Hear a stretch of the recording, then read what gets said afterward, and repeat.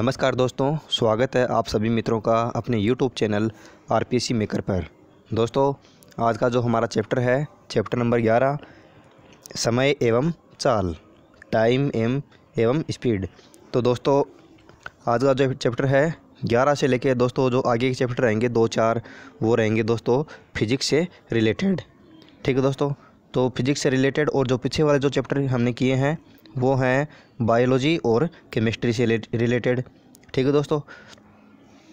तो स्टार्ट करते हैं आज का अपना चैप्टर देखो, इसके अध्ययन बिंदु है, वो देख लेते हैं। जो फ़र्स्ट टॉपिक है, वो रहेगा समय की अवधारणा सरल लोलक सरल लोलक एवं उसका आवर्तकाल, समय का मात्रक चाल की अवधारणा, दूरी एवं समय का ग्राफ। तो दोस्तों स्टार्ट करते हैं अपना वीडियो। दोस्तों, वीडियो स्टार्ट करने से पहले आपसे रिक्वेस्ट है, यदि आप हमारे चैनल पे फ़र्स्ट टाइम विज़िट कर रहे हैं तो चैनल को सब्सक्राइब अवश्य करें, साथ ही बेल आइकन को ज़रूर प्रेस करें, जिससे आपको हमारी वीडियोज़ के नोटिफिकेशन मिल सकें। तो दोस्तों, देखो, जो समय और टाइम है, वो क्या होता है? समय, टाइम और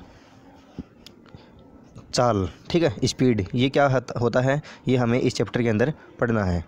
देखो यदि हम पढ़ें, सोएँ, दौड़ें या कुछ भी करें, समय निरंतर चलता ही रहता है। यह हमारे लिए समय का ज्ञान अत्यंत आवश्यक है। यदि आपके पास घड़ी नहीं है तो आप यह कैसे निश्चित करेंगे कि अब क्या अब क्या समय हो गया है? क्या कभी आपको यह जानने की उत्सुकता हुई है कि हमारे बुज़ुर्ग किस प्रकार केवल छाया देखकर दिन के समय का अनुमान भी लगा लेते थे? हमारे राजस्थान की राजधानी जयपुर के जंतर मंत्र में स्थित वृहत सम्राट यंत्र एक ऐसी धूप घड़ी है जिसमें, जिससे दो सेकंड तक के अल्प समय को शुद्धता से मापा जा सकता है। दोस्तों, किसकी सहायता से? इम्पोर्टेंट है दोस्तों ठीक है? जीके जीके लाइक क्वेश्चन है, ठीक है? आपकी जनरल नॉलेज के लिए कि जो राजस्थान की राजधानी जयपुर है, वहाँ पर जंतर मंतर है, ठीक है? जंतर मंतर ये तो मालूम आपको कहाँ पर है? राजस्थान के जयपुर में। तो वहाँ पर क्या है? वृहद सम्राट, स्मार्ट यंत्र है, ठीक है? तो ये क्या है? एक ऐसी धूप घड़ी है, क्या है ऐसी धूप घड़ी है, जिसमें दो सेकंड तक के अल्प समय को शुद्धता से मापा जा सकता है। इसे सन 1735 ईस्वी में जयपुर के महाराजा स्वाई जयसिंह द्वारा बनवाया गया था। प्राचीन काल में भी इसी प्रकार से रेत घड़ी और जल घड़ी का प्रयोग समय मापन के लिए किया जाता था। तो दोस्तों, जो प्राचीन समय में, प्राचीन काल में जो रेत घड़ी होती है, रेत घड़ी क्या होती है? ये देखो। ये रही रेत घड़ी ठीक है? तो रेत घड़ी के अनुसार इसको टाइम के जो समय है, उसको मापते थे, ठीक है? यहाँ पर रेत बढ़ दी जाती थी, फिर धीरे धीरे धीरे धीरे ये सारी रेत नीचे आती थी, ठीक है? तो उसके अनुसार टाइम को कैलकुलेट करते थे। फिर है समय की अवधारणा। ये देखो, ये डायग्राम देखा रखा है, ये है जंतर मंतर, ठीक है? ये है जयपुर में, ठीक है दोस्तों? कभी जयपुर जाने का हो मन तो ज़रूर ये जंतर मंत्र है, ये ज़रूर देख के आना।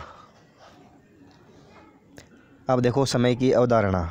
हमारे पूर्वजों ने देखा कि प्रकृति में कई ऐसी आवर्ती घटनाएँ होती है, जो निश्चित अंतरालों में दोहराई जाती है तथा जिनसे हमें समय तथा समय अंतरालों का आभास होता है, जैसे शोर शोर दिन। अब देखो सौर दिन क्या होता है? सौर दिन सूर्य प्रतिदिन प्रातःकाल में उदय होता है। एक सूर्य से अगले सूर्योदय के बीच के समय को एक सौर दिन कहा जाता है। दोस्तों, किसे कहते हैं? एक सूर्योदय से अगले सूर्योदय के बीच के समय को सौर दिन कहा जाता है। यानी कितना टाइम होगा इसमें? चौबीस घंटे का टाइम होगा दोस्तों।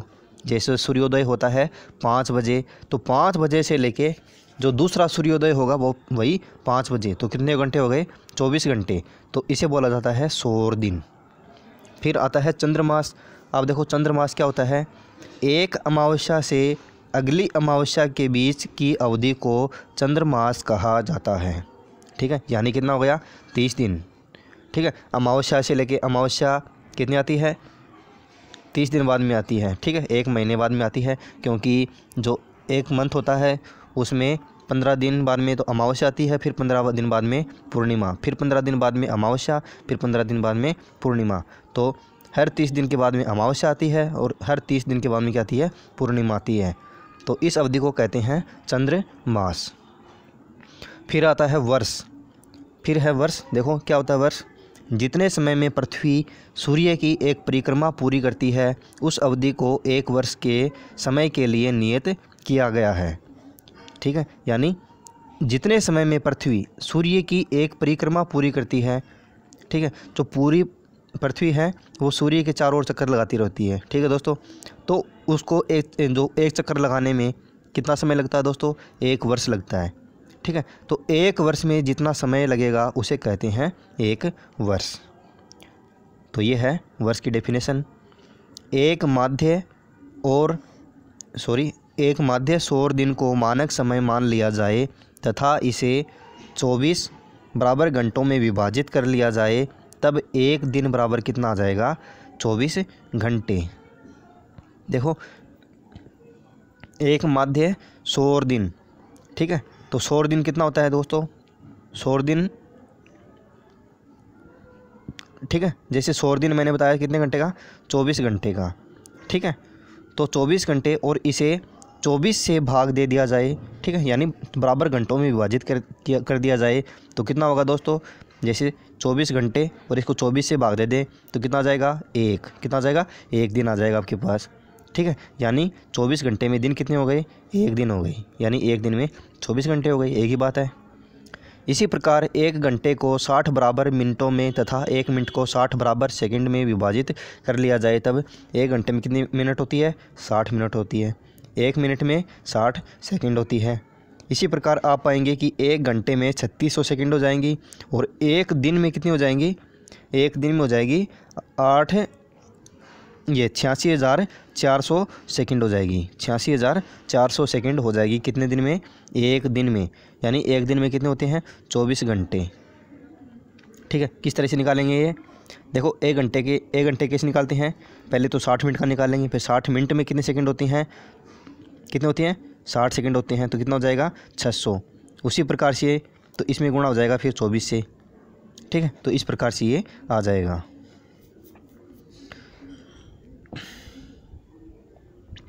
फिर देखो दोस्तों, फिर आता है, आप ज्ञात कीजिए कि एक वर्ष में कितने घंटे और कितने सेकंड होते हैं।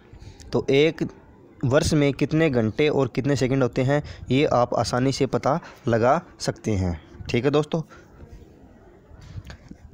देखो, आप, अब आप जान गए होंगे कि एक, हम एक दिन या एक माह या एक वर्ष के काल अंतराल को कैसे मापते हैं?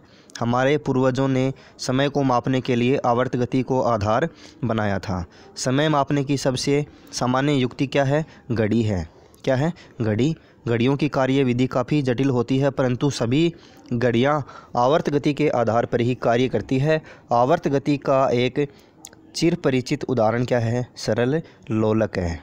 ठीक है दोस्तों अब देखो यहाँ से जो क्वेश्चन है वो इम्पोर्टेंट क्वेश्चन है, अब यहाँ से स्टार्ट होंगे ठीक है, यहाँ से क्वेश्चन पूछा जाता है कि जो सरल लोलक है, यानी आवर्त गति का एक उदाहरण क्या है? सरल लोलक। यानी सरल लोलक है, वो किसका उदाहरण है? आवर्त गति का। ठीक है, जो गति होती है, गति कितने प्रकार की होती है? ये भी आपने पढ़ा होगा पहले। देखो सरल लोलक और उसका आवर्तकाल। जो सरल लोलक क्या होता है और उसका आवर्तकाल क्या होता है, ये हम पढ़ेंगे। देखो, धातु के एक छोटे गोले अथवा पत्थर के टुकड़े को किसी दृढ़ स्टैंड से धागे द्वारा लटकाकर दोलन करवाते हैं, इसे सरल लोलक कहते हैं। धातु का गोला सरल लोलक का गोलक कहलाता है। ठीक है दोस्तों, जो पूरी, जो कंडीशन होती है ठीक है? धातु के एक छोटे से गोले को, ये ठीक है, ये गोला है। ठीक है, गोला या पत्थरे की बात है। किसी दृढ़ स्टैंड, ये स्टैंड मान लिया। इससे लटका कर हम दोलन करवाते हैं। दोलन किसे बोलते हैं? इस इस तरह से। ठीक है? तो इस तरह से हम उसको दोलन करवाते हैं। तो क्या होता है? इसे क्या कहते हैं? इस पूरी व्यवस्था को कहते हैं सरल लोलक। ठीक है? और ये जो पिंड लटकाते हैं, ये पिंड, इसे क्या बोलते हैं? इसे बोलते हैं गोलक। फिर देखो, ये देखो, ये दर्शा रखा है। इस तरह से देखो। ये जो डायग्राम है, ये डायग्राम किसका है? ये उदाहरण है सरल लोलक का। ठीक है, ये पूरी जो व्यवस्था है, पूरी जो ये, जो जो डायग्राम है, ये है सरल लोलक। आप देखो दोस्तों, उसको पढ़ते हैं। ये जो डायग्राम है, इसी के आधार पर है ये चित्र ग्यारह पॉइंट तीन। देखो, यहाँ पर रख लेता हूँ मैं। ग्यारह पॉइंट तीन में लोलक विराम अवस्था में दर्शाया गया है। इसे लोलक की अपनी माध्य स्थिति पर होना कहा जाता है। ठीक है दोस्तों? कौन सी? कंडीशन ए। ये देखो, ए वाली कंडीशन ये रही। इसमें क्या है? इसमें है, जो लोलक है, वो विराम अवस्था में है। ठीक है? यह अवस्था कहलाती है इसकी माध्य स्थिति, यहाँ पर बीच में होता तब। जब लोलक के गोले को धीरे से एक ओर ले जाकर छोड़ते हैं तो यह इधर उधर गति करना आरंभ कर देता है। इस प्रकार की गति को दोलन गति कहते हैं। ठीक है? अब देखो, ये जो गोलक है, इसको पकड़कर हम इस साइड में ले जाते हैं। ठीक है? इस साइड में ले जाते हैं, यहाँ ले गए। फिर इसको यहाँ से छोड़ते हैं तो फिर पहले ये यहाँ पर आएगा, फिर ये यहाँ पर आएगा, फिर यहाँ पर वापस। ठीक है? यहाँ पर ये जो अपनी इसकी स्थिति ऊर्जा में आ जाएगा। ठीक है? पूर्णतः स्थिति ऊर्जा। स्थिति ऊर्जा में आने के बाद यहाँ पर क्या आ जाएगा? फिर वापस यहाँ पर आ जाएगा, फिर वापस यहाँ पर आ जाएगा। तो इस प्रकार से यहाँ पर ये क्या करता रहता है? दोलन करता रहता है। तो इस प्रकार की गति क्या कहलाती है? दोलन गति। चित्र ग्यारह पॉइंट तीन बी में दिखाए अनुसार जब गोलक अपनी माध्य स्थिति ओ से प्रारंभ करके ए तक, फिर ए से बी तक एवं बी से वापस ओ पर आता है तो यह कहा जाता है कि दो, जो लोलक है लोलक ने एक दोलन पूरा कर लिया है। दोस्तों इम्पोर्टेंट बात है। देखो दोस्तों, इसको समझने का प्रयास करते हैं। देखो, ये है, देखो, चित्र में दिखाए अनुसार जब गोलक अपनी माध्य स्थिति ओ से प्रारंभ होता है, पहले तो यहाँ पर होता है ओ पर मीडियम मिड स्थिति पर, माध्य अवस्था में। फिर आरंभ करके फिर ए तक, फिर जाता है ये ए तक ले आते हैं इसको। ठीक है? ए से ए तक ले आने के बाद में फिर ये ए से जाएगा फिर बी पर। फिर बी से वापस कहाँ पर आएगा ये? फिर वापस ओ पर आएगा। वापस उसी स्थिति पर आ जाता है। तो ये कहलाता है एक दोलन। क्या कहलाता है? एक दोलन। उम्मीद करता हूँ दोस्तों आप समझ गए होंगे। देखो, एक बार फिर से समझा देता हूँ। मान लिया ये क्या है? ये है अब अपनी माध्य स्थिति में। ठीक है? तो माध्य स्थिति पर यहाँ से स्टार्ट होता है। ठीक है? यहाँ से स्टार्ट होगा समय। ठीक है? तो यहाँ पर आ गया, पहले यहाँ पर आ गया बिंदु ए पर। फिर यहाँ से पहले, फिर वापस यहाँ पर माध्य स्थिति पर आएगा, ठीक है? फिर यहाँ पर यहाँ पर बिंदु बी है, फिर यहाँ पर आएगा। तो यानी यहाँ से स्टार्ट हुआ। तो पहले तो ये समय, ठीक है? एक तो ये समय जुड़ गया इसमें। फिर वापस यहाँ से आएगा, ये समय जुड़ जाएगा, ठीक है? फिर वापस यहाँ पर आएगा तो ये समय जुड़ गया। यानी एक तो पूरा ये समय जुड़ गया, एक एक एक ये समय जुड़ गया। ठीक है? यहाँ से लेके यहाँ तक का। और एक समय वापस आएगा तो ये समय जुड़ गया। तो ये कहलाता है एक दोलन। फिर देखो दोस्तों, इसी प्रकार जब इसका गोलक एक चरम स्थिति ए से दूसरी चरम स्थिति बी पर तथा बी से वापस ए पर आता है, तब इसे लोलक का एक दोलन पूरा कहते हैं। ठीक है दोस्तों? इसी प्रकार से जब क्या है कि चरम स्थिति ए से दूसरी चरम स्थिति बी पर तथा बी से वापस ए पर आएगा तब इसे लोलक का एक दोलन पूरा करना कहते हैं। ठीक है दोस्तों, आप देखो दोस्तों, जो एग्ज़ाम में क्वेश्चन है, वो आपसे किस प्रकार पूछा जा सकता है? ठीक है, ऐसे बोलेगा, ये एक सरल लोलक है। ये उसकी माध्य स्थिति ओ है। ये इसकी माध्य स्थिति ए है। ये इसकी माध्य स्थिति बी पर है। बी पर है। तो अब पूछेगा कि यदि उसने ए से दोलन करना स्टार्ट किया है तो उसका एक दोलन कहाँ, किस बिंदु पर पूरा होगा? ठीक है दोस्तों तो किस बिंदु पर पूरा होगा? जहाँ से वह स्टार्ट हुआ है, उसी बिंदु पर वो पूरा होगा। यानी ए से जाएगा ओ पर यानी बी पर चला जाएगा, फिर वापस बी से ओ पर आएगा, माध्य स्थिति में आएगा, फिर वापस ए पर आएगा। तो ये वापस ए पर आएगा तो ये कहलाता है एक दोलन। यदि वह ओ पर है, ठीक है, यानी ओ से ओ से उसकी दोलन गति स्टार्ट हुई है तो उसका जो एक दोलन है वो कौन से बिंदु पर कहलाएगा? बी पर जाएगा, फिर बी से वापस ओ पर आएगा, फिर ओ पर से वापस ए पर आएगा, फिर ए से वापस ओ पर आएगा। तो वापस ओ पर आएगा, जिस बिंदु से स्टार्ट हुआ है, उसी बिंदु पर वापस आएगा तो वह समय कहलाएगा एक दोलन। उम्मीद करता हूँ दोस्तों, आप मेरी बात को अच्छे से समझ गए होंगे। फिर देखो दोस्तों आवर्तकाल क्या होता है? देखो, सरल लोलक एक दोलन पूरा करने में जितना समय लगाता है, उसे सरल लोलक का आवर्तकाल कहते हैं। ठीक है दोस्तों? जैसे जो सरल लोलक है ये, ठीक है? यहाँ से बिंदु माध्य स्थिति है तो इसे, इसकी जो एक दोलन है तो एक दोलन पूरा करने में जितना जितना समय लगेगा, यानी इस बिंदु से इस बिंदु पर आएगा, यानी ए पर आएगा, फिर वापस बी पर, फिर बी से वापस इसी पर आएगा। ठीक है? तो वापस, यानी कि ये तो ये समय काउंट हो गया। फिर ए से बी तक पूरा समय काउंट होगा। फिर बी से यहाँ पर बिंदु ओ पर तो ये समय काउंट हो गया तो ये जो पूरा समय है, ये कहलाएगा क्या? ये समय पूरा कहलाएगा, एक, जो सरल लोलक है उसका, आवर्तकाल कहलाएगा। फिर देखो दोस्तों, जो गतिविधि है, वो समझते हैं, आवर्तकाल ज्ञात करना। दोस्तों चैप्टर थोड़ा बड़ा है तो इसको हम दो पार्टों में डिवाइड करेंगे। आज इसका हम पार्ट नंबर फ़र्स्ट पढ़ेंगे। फिर इसका जो शेष भाग बचेगा, वो हम पढ़ेंगे पार्ट नंबर सेकंड में। देखो, इसकी गतिविधि नंबर फ़र्स्ट, वो देख लेते हैं। आवर्तकाल ज्ञात करना, वो किस प्रकार से ज्ञात करते हैं? लगभग एक मीटर से अधिक लंबा धागा अथवा डोरी लेकर चित्र ग्यारह पॉइंट तीन में दर्शाए अनुसार स्टैंड या कील पर लटकाकर एक सरल लोलक इस प्रकार बनाइए कि इसकी लंबाई एक मीटर यानी सौ सेंटीमीटर हो। यदि पास में कोई पंखा चल रहा है तो उसे बंद कीजिए। गोलक सॉरी लोलक के गोलक को अपनी माध्य स्थिति पर विराम में आने दीजिए। फिर गोलक के नीचे फर्श पर, दोस्तों, इसको समझने का प्रयास करना साथ साथ में, ठीक है? ये थ्योरी है, जो अपना माइंड है माइंड के अंदर जो इसका डायग्राम है, वो अपने साथ साथ में अपने बिठाते जाओ, फिर इसको समझने का प्रयास करना। बिल्कुल ईजी है, कोई डिफ़िकल्ट नहीं है, बिल्कुल ईजी है। अब देखो, गोलक के नीचे फर्श पर अथवा इसके पीछे दीवार पर उसकी माध्य स्थिति को एक चिन्ह द्वारा अंकित कीजिए। लोलक का आवर्तकाल मापने के लिए एक विराम घड़ी की आवश्यकता होगी।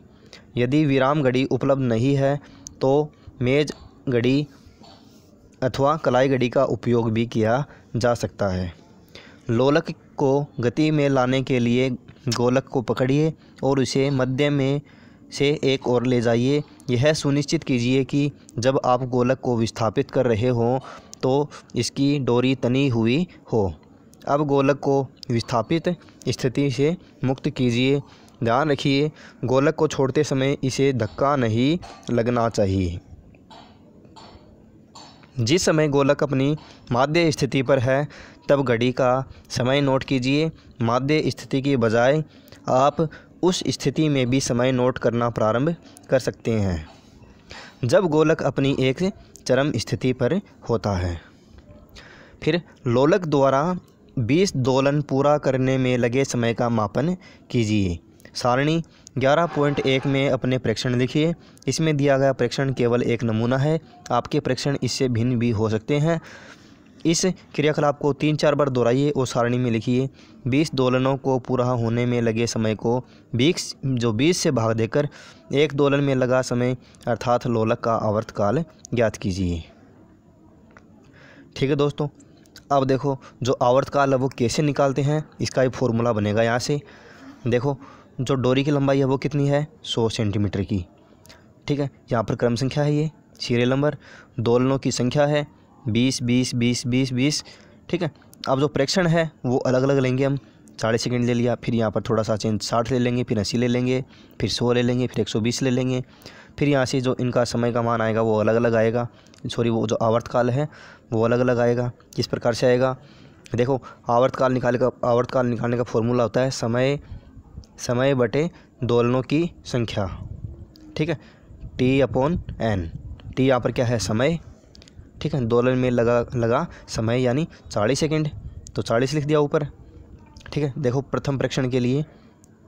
नीचे क्या आएगा? नीचे आएगा एन यानी दोलनों की संख्या। तो समय कितना? चालीस सेकंड में मापते हैं दोस्तों। अगर यहाँ पर चालीस मिनट दे रखता तो इसको पहले सेकंड में चेंज करना पड़ता।